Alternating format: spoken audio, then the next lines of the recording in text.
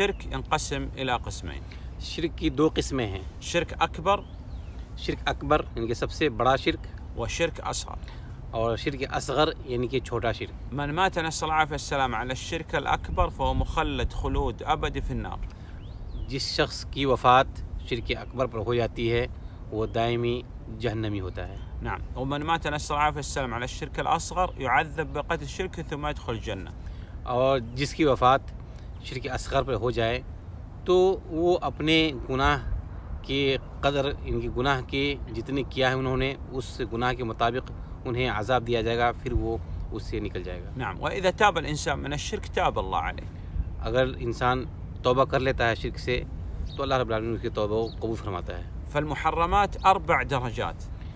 अल्लाह रबालमिन की हराम करदा चीज़ें उसके तीन चार दर्जात हैं। सग़ार सगीरा गुना इनके छोटा गुना وأعلى منها الكبائر. उससे ऊपर ये कबीरा गुनाह وأعلى منها الشرك الأصغر. أو उससे ऊपर जो है ये शिर्क असगर यानी छोटा शिर्क शिर्क है وأعلى شيء الشرك الأكبر أو सबसे आला और आला दर्जा वो शिर्क अकबर का है أمثلة على الشرك الأكبر. شرك اكبر की मिसालें أي عبادة تصرف لغير الله هذا هو الشرك الأكبر. کوئی بھی عبادت جو اللہ رب العالمین کے علاوہ دوسروں کے لیے انجام دیا جائے وہ شرک اکبر ہے صلی لغیر اللہ جیسا کہ وہ نماز پڑھے اللہ کے علاوہ غیر اللہ کے لیے۔ حج لغیر اللہ حج لأصحاب القبور۔ حج کیا غیر اللہ کے لیے؟ نعم سجد لغیر اللہ۔ سجدہ کیا غیر اللہ کے لیے؟ يدعو غير الله في يدعو اصحاب القبور مثلا۔ دعاء غير الله سے کرے جیسے کہ اصحاب قبور سے۔ نعم يطوف حول القبور۔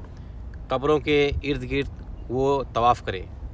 كل عبادة تصرف لغير الله هذا الشرك أكبر۔ ہر وہ عبادت جو اللہ رب العالمین کے علاوہ دوسروں کے لیے انجام دیے جائیں یہی شرک اکبر ہے نعم امثل على الشرك الاصغر شرک اصغر کی مثال ہے الحلف بغیر اللہ غیر اللہ کے لیے قسمیں کھانا یحلف بالنبی صلی اللہ علیہ وسلم جیسے کہ نبی کریم صلی اللہ علیہ وسلم کے لیے کے نام سے بھی قسم کھائے یحلف بحیاته یا اپنی زندگی کی قسم کھائے یحلف مثلا بالاموات یا مردوں کی قسم کھائے قول ما شاء الله وشئت या ये कहे कि माशा वशीत यानी जो अल्लाह चाहे और आप चाहें।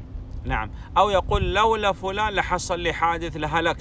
या ये कहे कि अगर ये फुला नहीं होता तो मैं हलाक हो जाता या मेरे लिए ये हादसे हो जाते। नाम। युरा